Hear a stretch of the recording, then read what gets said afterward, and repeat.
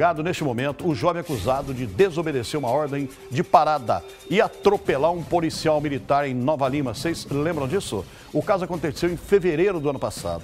Esse PM ficou quatro dias em coma, 13 dias no UTI ou CTI. Olha isso, vamos ver.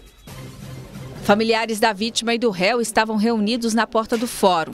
Cleófas Barreto Souza Reis, sargento da Polícia Militar, veio em busca de justiça. Eu espero que a justiça seja feita, até mesmo para que a impunidade não fique imperando né, no nosso país. O fato ocorreu em fevereiro do ano passado durante uma abordagem policial. O réu não teria obedecido uma ordem de parada dos militares e atropelado o sargento que estava no local.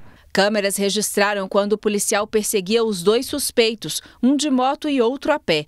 O atropelamento não foi filmado. Segundo testemunhas, após ser atingido, o militar bateu a cabeça em um poste. O PM ficou 21 dias internado, passou por momentos difíceis. Eu estou vivo, segundo os próprios médicos, né, por um milagre, porque eu estourei a artéria principal do cérebro perfurei o meu pulmão, quebrei minha clavícula, trinquei quatro vértebras é, do pescoço e ainda é, tive duas paradas cardíacas de quatro minutos. Quando recebeu alta, Cleófas foi homenageado pelos colegas.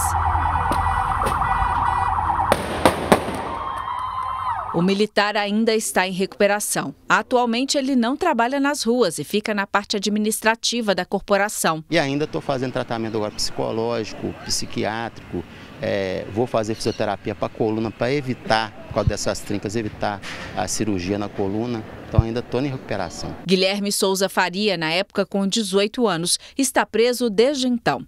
Ele não tinha carteira de habilitação. A família espera que ele seja solto. A tia defende o sobrinho e afirma que ele não teve a intenção de matar o policial. Um adolescente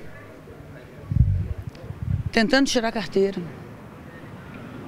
Tentando tirar a carteira é, assustou, no impulso, agiu no impulso, foi. Que ele pague por isso, que já pagou. Esse tempo todo que ele está lá, não é justo. O júri, que aconteceu no Fórum de Nova Lima, na região metropolitana da capital, começou por volta de 9h40 da manhã com o um depoimento de testemunhas. A previsão é que o julgamento se estenda até o início da noite.